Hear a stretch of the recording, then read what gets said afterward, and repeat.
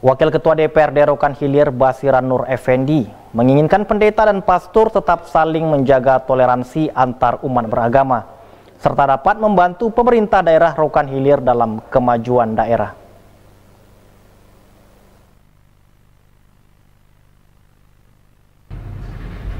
Hal tersebut disampaikan oleh Wakil Ketua DPRD Rohil, Basiran Nur Effendi, usai menghadiri pembukaan pertemuan pendeta dan pastor Serohil beberapa saat yang lalu di Gedung Misran Rais Jalan Utama Bagan Siapi-Api.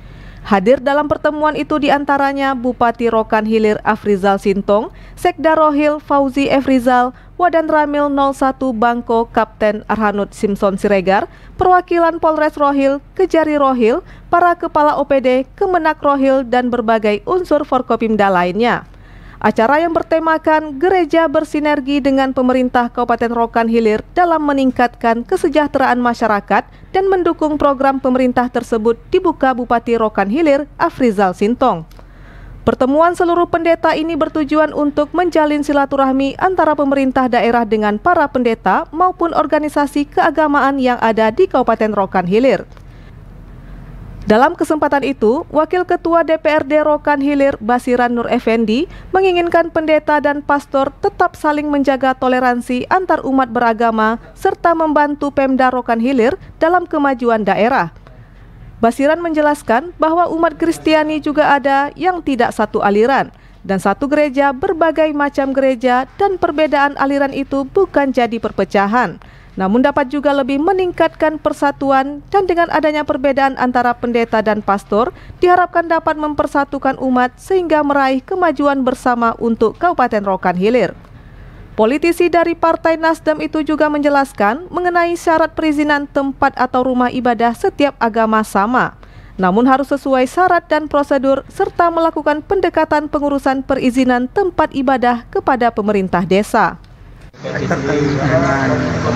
Oke ya jadi hari ini saya juga turut diundang dalam acara uh, pertemuan ya pertemuan atau perkumpulan pendeta uh, se Kabupaten Rokan Hilir yang diadakan oleh pemerintah Kabupaten Rokan Hilir. Tentunya harapan kami dari DPRD Kabupaten Rokan Hilir mereka ini semua adalah pemimpin agama umat Kristiani ya saudara-saudara kita umat Kristiani jadi harapan kami para pendeta ini adalah uh, pembimbing daripada umat Kristiani khususnya. Jadi agar kiranya semua pendeta dapat menjalankan tugas bimbingan secara agama mereka dengan baik, ya.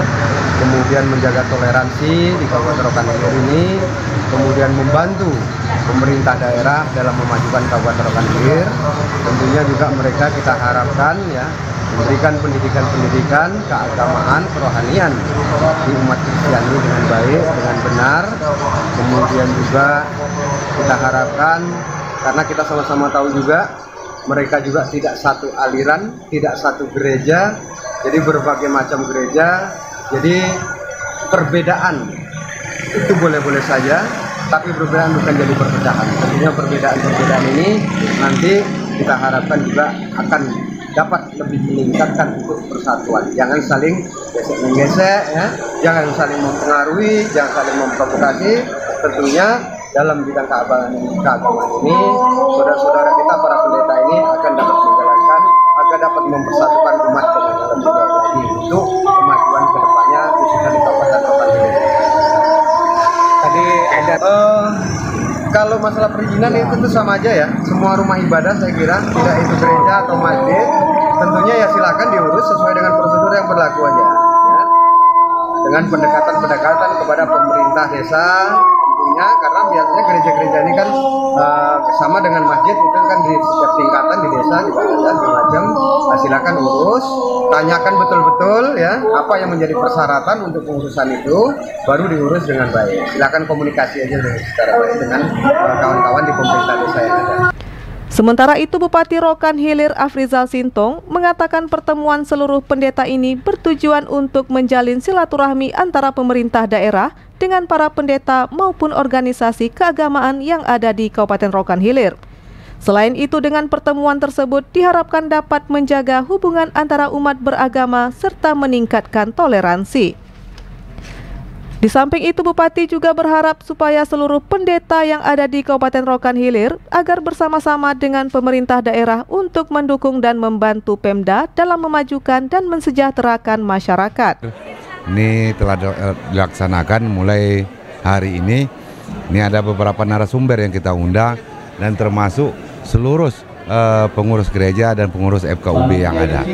Jadi di sini juga kami tentunya atas nama pemerintah daerah mengucapkan selamat di dalam acara ini. Semoga ke depannya artinya juga kepada seluruh tokoh agama yang ada di Kabupaten Rokan Hilir ini bisa bersinergi, ya bersinergi bersama pemerintah ini dan mempermudah seluruh urusan masyarakat yang ada di tempat kita ini. Termasuk juga saya ingatkan kepada seluruh baik RT RW, uh, Datuk Penghulu, Lurah maupun Camat ya uh, di dalam pengurusan surat-surat izin apa pun halnya di dalam uh, pembangunan rumah ibadah itu kami harapkan bisa dipermudah. Mungkin itu. Terima kasih. Ya.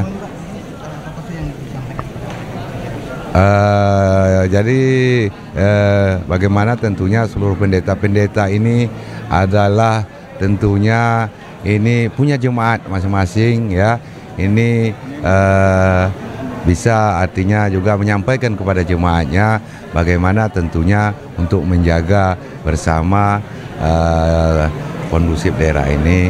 Ya tentu keamanan pembangunan usulan apa semua yang perlu sampaikan sampaikan. Artinya uh, mari sama-sama bantu pemerintah daerah.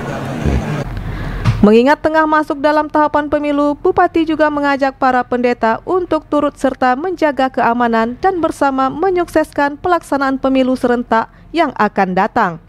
Dari Rokan Hilir, Julius melaporkan.